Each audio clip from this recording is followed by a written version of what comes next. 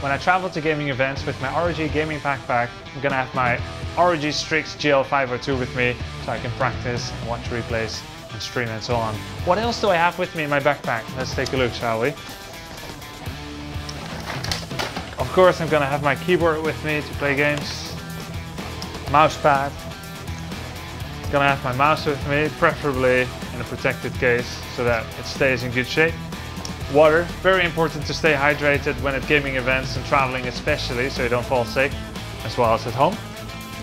Kiwis, haha, surprise item, might not expect. If you can get your hands on some walnuts or blueberries as well, it's gonna be great brain food, keep yourself energetic and healthy without feeling too full.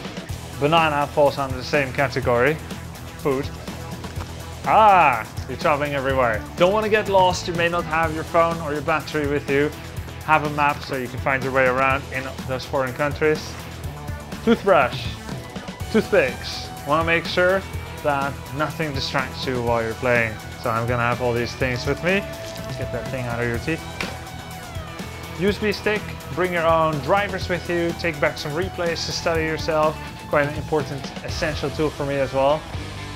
Hotel card, find your way back, and that's it. These are the, some of the items, essential items, which help me to be prepared for any circumstance at gaming events.